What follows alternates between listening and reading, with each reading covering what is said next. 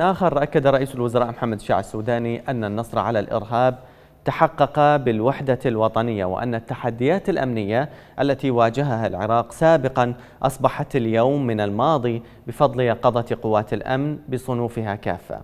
كما لفت إلى أن الحكومة تعمل على إنشاء معسكرات ومقار وقواعد خاصة بالحشد الشعبي خارج المدن تحقيقا للهدف القتالي الذي أنشئ من أجله.